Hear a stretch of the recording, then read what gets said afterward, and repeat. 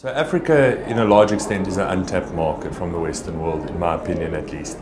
And through mining, it does open a lot of doors, a lot of development opportunities, and through that, our company in the underground locomotive industry has that access to enhance the business within uh, Africa as a whole. The um, main two products that we've got this year, firstly, is the AC driven locomotive. The AC driven locomotive has multiple advantages over a DC driven. So firstly, you have direct speed control, which enables the driver to control exactly how quickly that locomotive is traveling. And secondly, it has energy regeneration, which means once you're going back from the face to the dumps with a full load, you'll be regenerating energy all the way down. Therefore, your battery can be smaller um, and being more economical. Secondly, we have a switching battery that enables a, a lithium ion battery which works at 120 volts for the old DC driven locomotives and then at 360 volts for the newer AC driven locomotives. The reason why this is significant is as the lithium ion battery is the most expensive singular component within a locomotive. Therefore, if we are able to provide a in for companies at 120 volts, they can outlay that capital and at a later stage do the full drivetrain upgrade.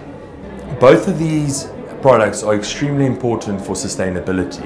The first being eliminating diesel fumes and diesel usage underground. Um, that also has a massive impact on the ventilation and refrigeration uh, requirements of the mine. Um, and then secondly, you are able to do energy regeneration, so your overall power consumption is lower. Through some of the simulations that we have conducted, the energy savings from the refrigeration and the uh, ventilation reduction requirements is enough to actually power those AC locomotives. Therefore, you have a full diesel saving cost. From the um, AC locomotive, it is really looking at what is the next thing. So the most common used drive on an electrical locomotive at the moment is a 75D. The 75D was designed in 1960. Technology has advanced greatly from there. So breakthroughs within the EV market especially allowed us to um, identify new technologies in which we can use. We use a Bosch drivetrain which is used in their EV vehicles and the highway vehicles and we use that um, to drive our drivetrain. Uh, secondly, consumer requirements. So there's a great consumer requirement to move into lithium that provides you a one hour charge on, on the locomotive, so there's no longer the need to swap batteries out. Um, however, they were looking for an interface to not have to reconfigure a battery or rebuy a battery um, at a certain stage. And that's what actually sets the DC AC switching battery apart from the others. So our AC drive has been in testing phase um, at uh, Kloof 4 shaft for three years now. We've had great results.